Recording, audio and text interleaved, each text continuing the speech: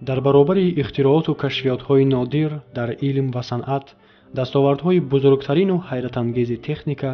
боз ҳам дар ҷойи аввал чопи китоб меистад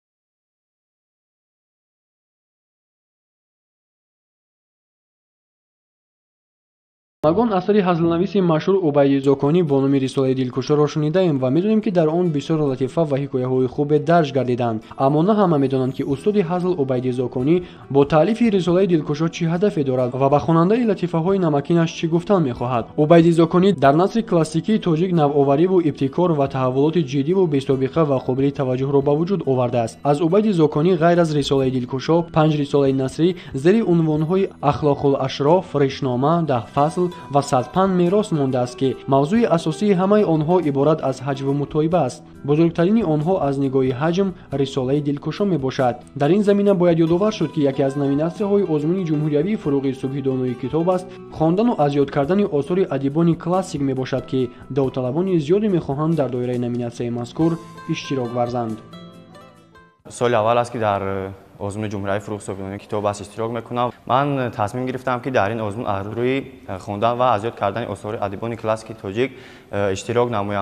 классики тоҷик иштирок намоям ва ман э, бештар асарҳои ба монанди устод убайди зоконӣ ҳусайн воизи кошифӣ шоҳномаи абулқосим фирдавсӣ ва дигар асарҳои устодонро мутолиа мекунам ва яке аз асарҳои дӯстдоштаи ман ин рисолаи дилкушо мебошад ки муаллифи ин устод убайди зоконӣ мебошад ва дар ин асар устод убайди зоконӣ мардони бадкирдору золимонро зери тозёнаи танқид гирифтааст ки шавқу рағбати хонандагони рисобат ба китобхонӣ хело ҳам ҷалб менамояд рисолаи дилкушо аз зумраи асарҳои насрии убайди зоконӣ мебошад ки бо ду забон арабӣ ва тоҷикӣ навишта шудааст. Ин рисола аз ҳикояҳои хурд-хурд иборат буда латифаҳои халқиро ба ёд меорад. Дар ин асар ҳам монанди асарҳои дигараш убайди зоконӣ ахлоқу одоби табақаҳои ҳокими ҷамъият ва хулқу атвори онҳоро сахт танқид кардааст. Дар асари мазкур убайди зоконӣ тамоми намояндагони қишраҳои ҷомеаи худро мавриди ҳаҷв қарор дода тавассути онҳо вазъи иҷтимоӣ ва ахлоқии даврони худро тасвир намудааст марде ба деҳе меравад дар он ҷо мебинад ки бисёри мардҳои дигар нишастаанд ва ба назди онҳо меравад ва мегӯяд ки ба ман ягон чиз бидиҳед вагарна ба худо бо он деҳе ки дар ҳамсояи шумо аст чизе кардам бо шумо низ мекунам.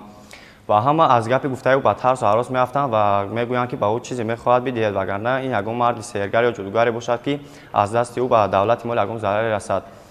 ва ҳамин тавр чизе ки ӯ дархост мекунад ба ӯ медиҳанд баъдан аз ӯ пурсон мешаванд ки ба он деҳе ки ҳамсояи мо аст ба он чӣ кор кардӣ? Ва мегӯяд ки ман ҳам ба он деҳ рафтам монанди деҳи шумо буд ки аз он ҳоҷатамро талаб кардам ба ман чизе надодам ва он деҳро тарк кардам. Агар шумо низ ба ман чизе намедодед ин деҳро тарк мекардам ва ба деҳи дигаре мерафтам. Тавсияи ман ба хонандагон ин аст ки бештар китоб хондан вақти худро ба холигӣ сарф накунанд ва китоб хондан ягон зараре надорад. Чӣ тавре ки мегӯянд? Аниси кунҷи танҳоии китоб аст фуруғи субҳи доноии китоб аст